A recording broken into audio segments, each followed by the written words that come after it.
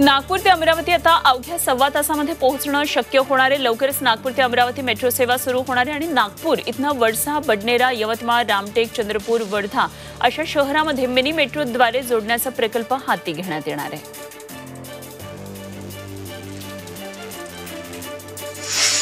नागपुरातल्या कळमना उड्डाणपुलाच्या दुर्घटनेची चौकशी आज तज्ज्ञ समिती करणारे एकोणीस ऑक्टोबरला कळमना पारडी मार्गाच्या उड्डाणपुलाचा एक गर्डर कोसळलाय. तांत्रिक बाजू आणि दुर्घटनेच्या अन्य बाबींचा तपास करणार आहे. गेले दीड वर्षामध्ये पेट्रोल तब्बल छत्तीस रुपयांनी तर डिझेल सत्तावीस रुपयांनी महागले सत्तावीस सप्टेंबरपासून पेट्रोलच्या दरामध्ये एकोणीस वेळा वाढ झाली आहे तर चोवीस सप्टेंबरपासून डिझेलच्या दरात बावीस वेळा वाढ झाली आहे राज्यात सात शहरांमध्ये पेट्रोल एकशे दहा रुपये तर डिझेल शंभरी पार झालंय. शंभर टक्के प्युअर सोनं केवळ आता चार हजार सातशे पंधरा रुपयांमध्ये खरेदी करण्याची संधी आहे. आरबीआय गोल्ड बॉन्ड एकोणतीस ऑक्टोबरपर्यंत घेण्याची संधी मिळणार आहे. एक ग्रॅमसाठी आरबीआयनं चार हजार सातशे ऐंशी रुपये दर ठरवलाय आणि ऑनलाईन खरेदी केली तर पन्नास रुपये डिस्काउंट मिळेल.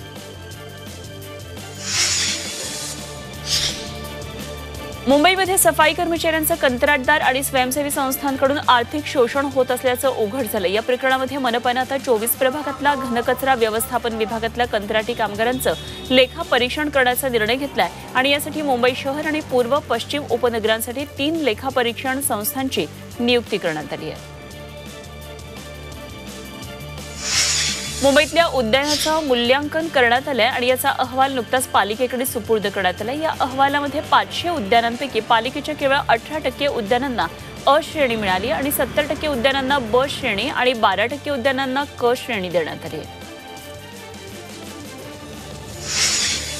शून्य ते तीस युनिट वीज वापर असणाऱ्या वीज मीटरची आता महावितरणकडून तपासणी केली जाणार आहे. राज्यामध्ये असे त्रेचाळीस लाख ग्राहक महावितरणच्या तपासणी कक्षेमध्ये आहेत. वीज चोरीला आळा घालण्यासाठी महावितरण ही कारवाई सुरू करणार आहे. हाऊसिंग सोसायटी निवडणुकांना आता वेग आलेला आहे. संस्थांच्या निवडणुकीसाठी निवडणूक निर्णय अधिकारी म्हणून आता संस्थेच्या सभासदाला काम करता येणार आहे आणि त्यासाठी राज्य सरकारनं सहकार कायद्यामध्ये दुरुस्ती केली आहे. मुंबई मनपातल्या दोन हजार चौदामध्ये झालेल्या ई निविदा घोटाळ्यातल्या दहा कंत्राटदारांवर दंडात्मक कारवाई झाली आणि सात कंत्राटदारांना पन्नास हजार ते पाच लाखांपर्यंत दंड करण्यात आलाय. तीन कंत्राटदारांची महापालिकेतली नोंदणी ही कायमस्वरूपी रद्द करण्यात आली आहे. मुंबईमध्ये पूरनियंत्रणासाठी पालिका अनेक उपाययोजना करते. त्या अंतर्गत पर्जन्य जलवाहिन्यांची क्षमता वाढवण्यात येईल. जलवाहिन्यांचे मार्ग बदलणार आहेत. आवश्यक तिथे नव्या पर्जन्य जलवाहिन्या सुद्धा टाकण्यात येतील. यासाठी दक्षिण मुंबईसाठी एकोणनव्वद कोटी तर बोरिवली परिसरामध्ये पूरनियंत्रणासाठी सत्त्याण्णव कोटींचा खर्च करण्यात येईल.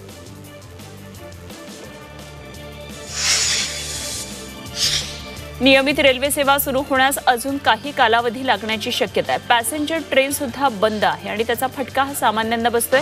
विमान सेवा शंभर टक्के प्रवासी वाहतुकीनं सुरू झालेली आहे मात्र रेल्वेला अजून परवानगी न मिळाल्यानं संताप व्यक्त केला जातोय.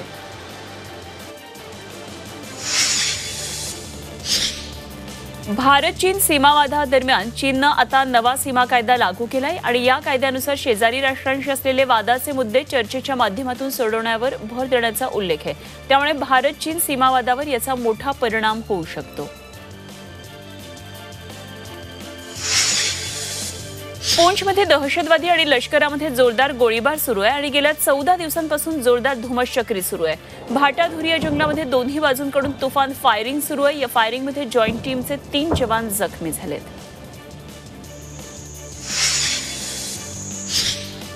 गेल्या चोवीस तासामध्ये देशात चौदा हजार तीनशे सहा रुग्णांची भर पडली आहे. चारशे त्रेचाळीस रुग्णांचा मृत्यू झाला आहे आणि अठरा हजार सातशे बासष्ट रुग्णांनी कोरोनावर मात केली आहे. कोविशिल्डच्या दोन डोसमधलं अंतर कमी करण्याबाबत लवकरच निर्णय होण्याची शक्यता आहे. कोविशिल्डच्या दोन डोसमधलं अंतर हे चौऱ्याऐंशी दिवसांचं आहे आणि हेच अंतर आता चार ते सहा आठवड्यांवर आणावं असा सल्ला तज्ज्ञांनी दिलाय.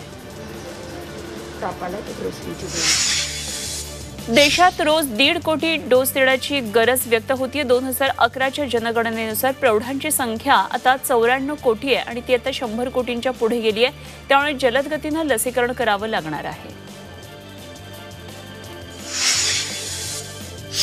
देशात डेल्टाच्या नव्या म्युटंटनं भारतात शिरकाव केलेला आहे ए वाय फोर असं या नव्या म्युटंटचं नाव आहे आणि त्याचा संसर्ग हा वेगानं होत असल्यानं धास्ती वाढतीये. ए वाय फोर या म्युटंटचे भारतामध्ये आतापर्यंत सात रुग्ण आढळलेत.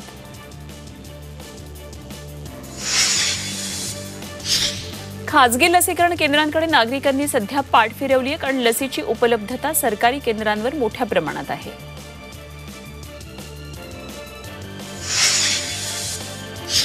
पुणे प्रशासनानं नागरिकांच्या लसीकरणासाठी तब्बल एकशे एक्केचाळीस कोटी मोजले. शहरामध्ये पन्नास लाखाहून अधिक डोस दिलेत आणि पासष्ट टक्के नागरिकांना मोफत लस दिली आहे. पस्तीस टक्के नागरिकांनी लसीला पैसे मोजलेत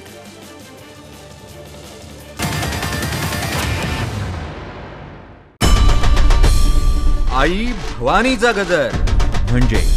झी चोवीस तास.